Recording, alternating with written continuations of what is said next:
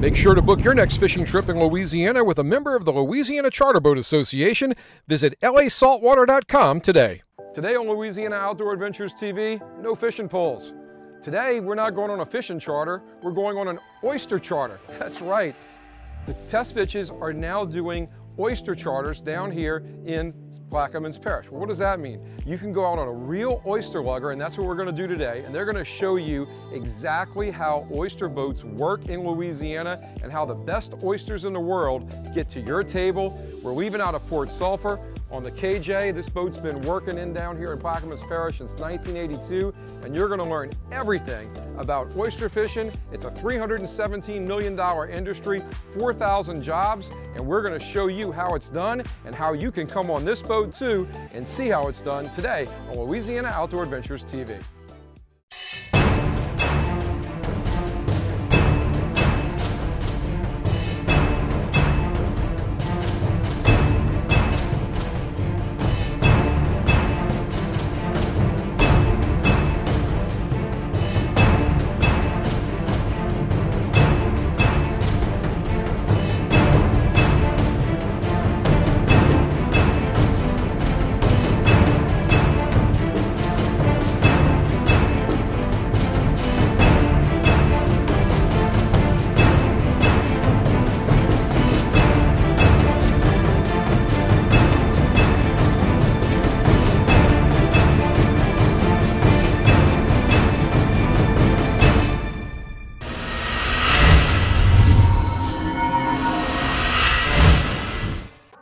Captioning is brought to you by Buzbe Modular Tackle Storage. Customizable internal bins allow you to personalize your tackle box, featuring a waterproof and airtight gasket which makes it float. Secured with stainless steel hinges and latches, industrial strength materials ensure this box is built to last. Get yours today at buzbe.com. So my name is Eden Tesvich and this is my husband Matthew. Uh, we started these tours a couple months ago because people in Plaquemines Parish, whether they're friends, family, when we take them out on the boat just for a Sunday fun day, boat day, they don't know exactly how it happens, how the oysters go from being harvested to ending up on your plate at a restaurant. So we wanted to give everybody the behind the scenes experience to see how this all works. Yeah, to piggyback off what Eden said, it never fails. Anytime I bring some friends or even some family members out in the bayou that have never seen the process, you tend to dump that first dredge of oysters and they're just looking wide-eyed. They've never seen it before. You can tell they have a hundred different questions, but they don't even know where to start. Well, the tours we're offering now, we'll be able to answer any question you have and you're gonna be wide-eyed as well. Well, you're about to see a lot of very good things about this oyster tour, and one of the good things is if you don't like a long boat ride, don't worry, you're not going to have one. Where they keep the boat to where the oyster reef is is about a 17 minute ride, and the boat cruises at about seven and a half knots. So we're going to head on over to the reef, which is right on the eastern side of Bay Adams, and show you how an oyster lugger works. We're going to get ready to fire off these dredges, and he's going to show you what's going on, but this is the beginning step to how oysters are harvested here in Plaquemines Parish. All right, so what are we doing now, buddy? All right, I just turned the winch on, let her warm up for a second. All right, so there's our winch. We got that turned on.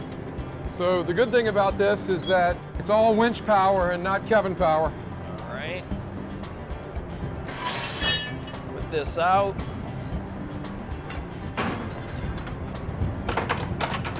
Watch the slack right where you're at.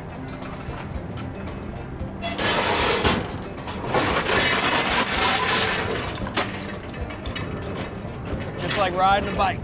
Yep.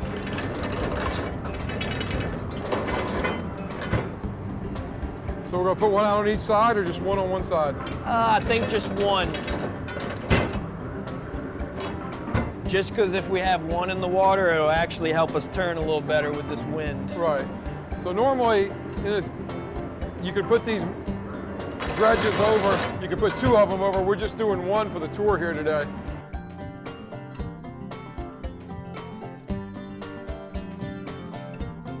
Uh, so with wind like this, I put a little, a little more slack than I would normally put, but we're gonna pull it up right now. Uh, it's gonna be a little loud, but this is basically just crushed concrete we planted on a muddy reef.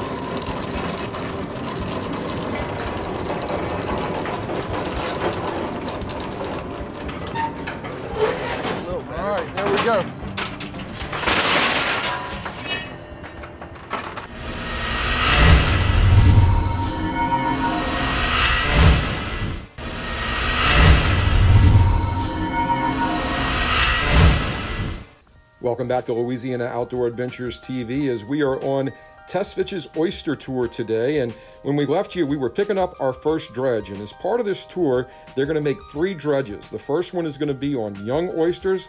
The second one is going to be on an oyster reef that's got some dirtier oysters on it with mussels, but those oysters are harvestable when we'll show you that. And then our final dredge is going to be on a very clean reef with some great oysters for the half shell. But let's see these young oysters now and how they develop in the great coastal estuary of Plaquemines Parish. Yeah, here we have a, a younger crop of oysters. So when we talk about a younger crop of oysters, what are we, how old are these oysters? I mean, what, what's kind of the...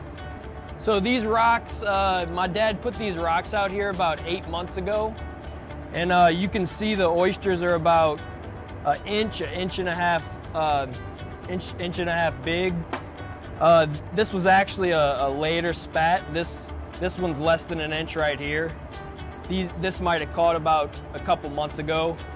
But uh, spots like this, we also have some leftover, nicer looking oysters. This is the stuff you'll see in oyster bars and restaurants.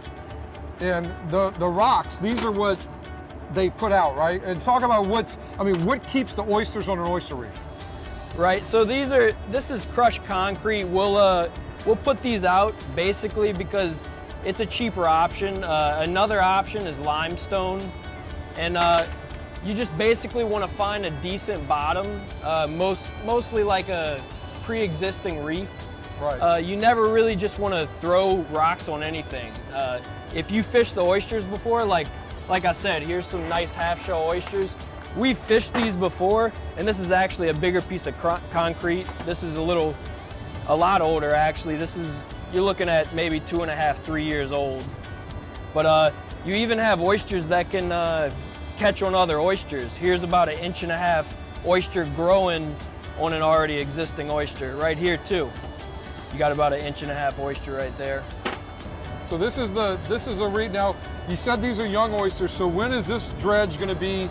I mean, when is this reef going to be good for you know your prime time good oysters? How long does it normally take? Uh, so oysters this size to get to about this size, you're going to be looking at two and a half, three years.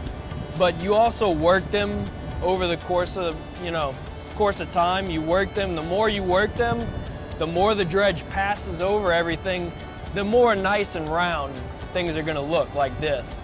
But it's about two and a half to three years we'll be able to fish these and put them in this basket right here. Good deal. One of the other surprising things that I've learned on this tour is that the three reefs that we are going to dredge on are literally right next to each other, within 100 to 200 yards. So we showed you the young oysters. Now we're going to make a dredge and show you the oysters that are not going to be used for on the half shell, but they are used for po' boys and things like that. This is the dirty dredge, and here it comes.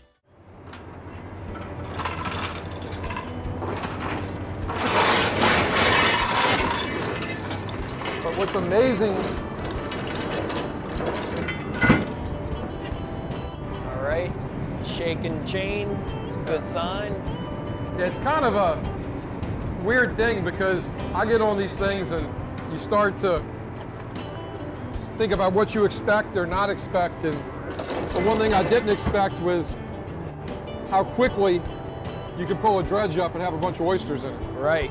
It's so much different than oh, yeah. people working with a shrimp trawl or something like that. You can, you know, obviously you get on these things and, you know, it's not that big of an apparatus, but it helps when you know right where the reef is too. Yeah, that's a, that's a big plus. Let's check it out. All right, so here we go. Within a minute, we're coming up.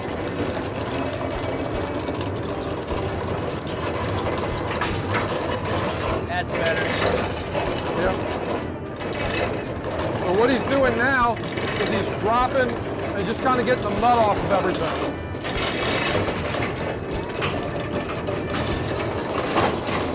All right, here we go.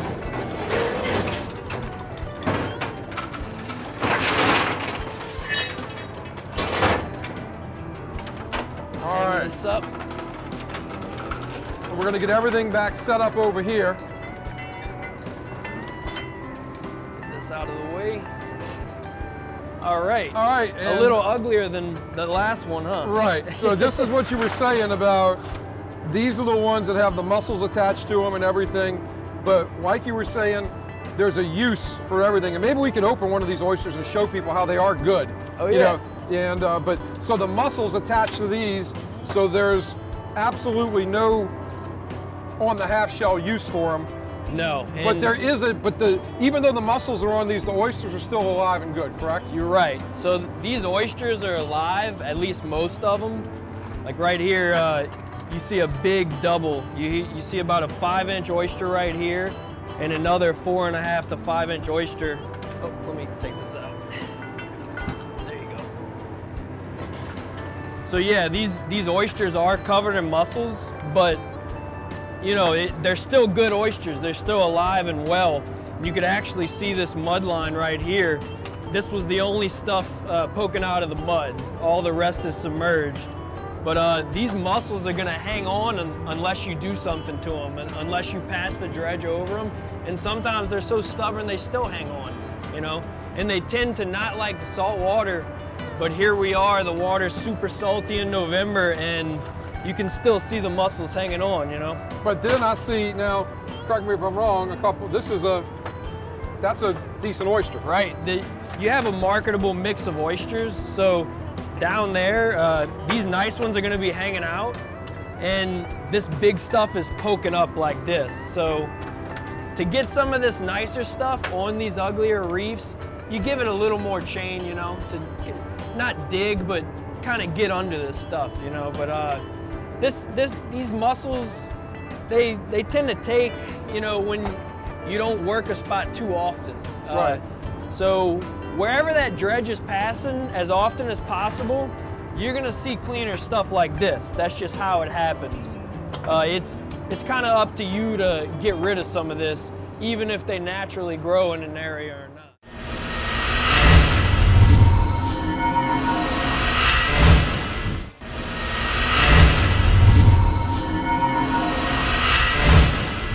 Welcome back to Louisiana Outdoor Adventures TV, and now it's time for us to do our third dredge, and this one is going to be on the Queen Oyster Reef, and these are the oysters that you're going to see on the half shell, the ones you're going to see on all the oyster bars, and better yet, the ones that we're going to taste later on in the show.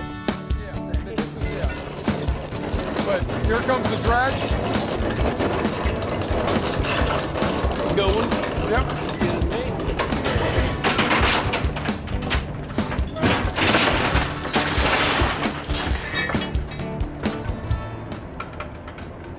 Big ones in there too. Yep. But we'll get some of that out of the way. But this is our third dredge, and we're going to have more Queen stuff in here than we've had in the other ones. Right. So So once we move some of this stuff to the side, so this is the marketable stuff you'll see in restaurants and oyster bars. Obviously, like I mentioned before, the mussels, we're gonna show you exactly how we clean these.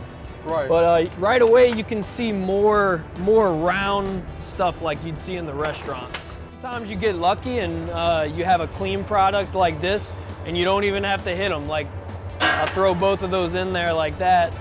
But especially when you're working a nice half shell oyster that restaurants are gonna be serving, you can see the mussels are on the side. You wanna shave those off.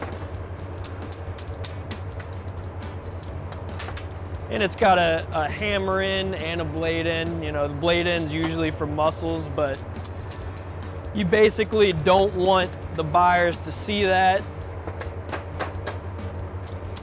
Clean those like that.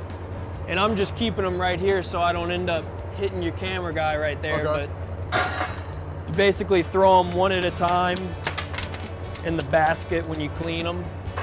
And that's your good stuff. Now, uh, basically your bigger oysters, uh, this is a nice ugly one for you. okay. Here we have, uh, we have, I mean, all tons of ages right here. We got about a month, month and a half old. We have like a four month old right there, a bunch of small ones right there. And then we have these two big grandpas. This one. you want to go for the shell. And typically in a shucking sack, you just clean the mussels real well and you could throw a double that's connected like that. Uh-huh. But for the sake of the tour, let me clean these a little better. Wow. And you saw what we started with. Didn't look like an oyster when we started with it, Right. And I now don't- it's starting to look like an oyster. Yep, we like to call that stuff footballs. The proper way to work, you want oysters in front of you, but you always kind of want to keep this clear. And uh, here we have, the, the further you dig, you, you can see more and more nice oysters. You know, they're all up and in there. And same thing, I'll put it right here because I don't want to hit you guy. It's amazing the speed you go with that.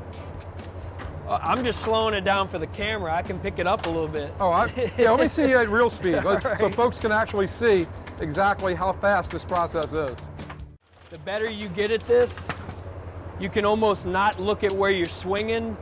And right when you're about to get ready to throw it, you're already looking at something else. You know, it's just, it's just something you get used to. Yeah, Obviously, I started talking trash and I missed the basket that time. that's okay.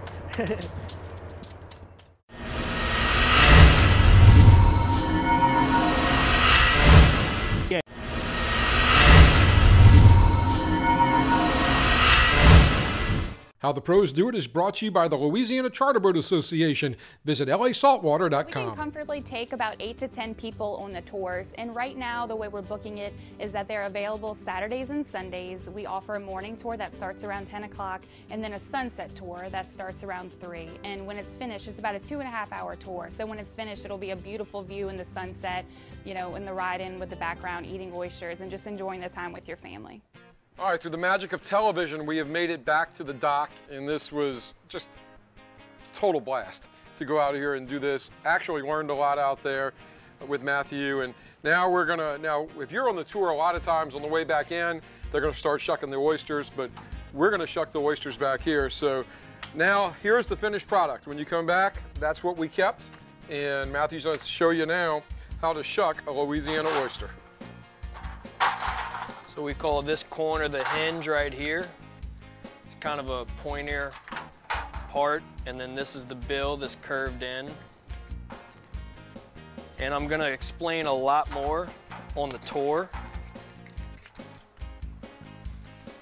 But you basically cut that eye and it's connected on both sides.